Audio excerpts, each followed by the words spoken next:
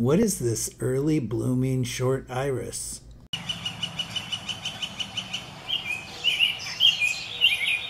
Let's learn about this small purple iris. I'm Jeff with the Backyard Birds channel. I prefer to grow native plants, but also grow a few heirloom plants like this iris. If you like videos like this, consider subscribing to my channel. Furthermore, you can support my channel by joining me on Patreon. As always, thanks for watching.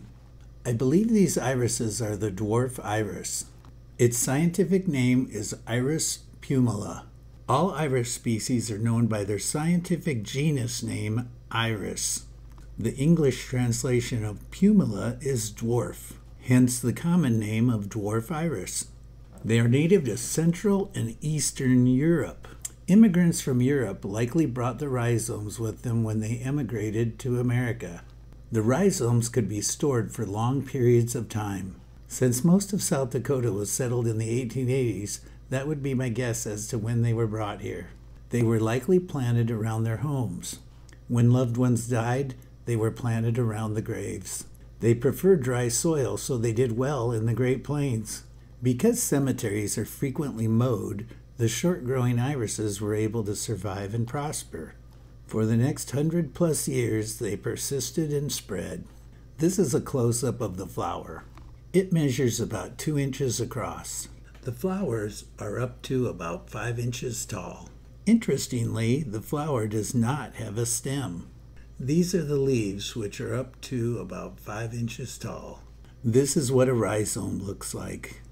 The plants create new rhizomes, which in turn create new plants. The roots are attached to the rhizomes. This is what a cluster of plants look like without blooms. This cluster is in full bloom and I think they are extremely showy.